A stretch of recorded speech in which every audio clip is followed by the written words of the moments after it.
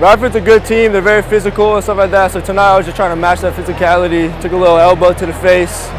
Kind of took a little chunk out of my lip. Hopefully I don't have to get any stitches, but it's all worth it. It's crazy because my freshman year we hosted it.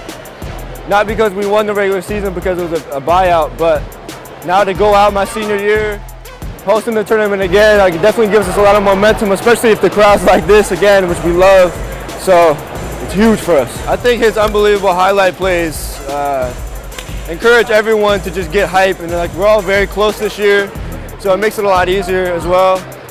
But these highlight plays that people make in this game, it just gets us all going, and the crowd gets into it, and it's it's insane.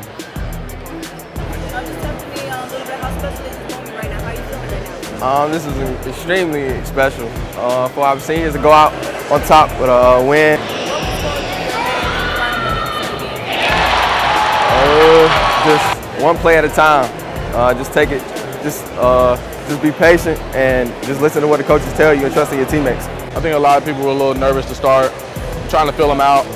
You know, we, we, just kept playing. We, we trusted in our game, man. We knew we were confident that we would be able to win this game late. So I mean, we just stuck with it and, and kept uh, bringing energy the whole, the whole game. It was just the best thing that I could ever ask for, man. A lot of love and support, you know, coming from our from our community and all around, you know, the area. Um, and they helped us out big tonight. And, and, this win is something we really wanted. And you know, we're just excited to be able to provide something for this community that that hasn't been done in a while.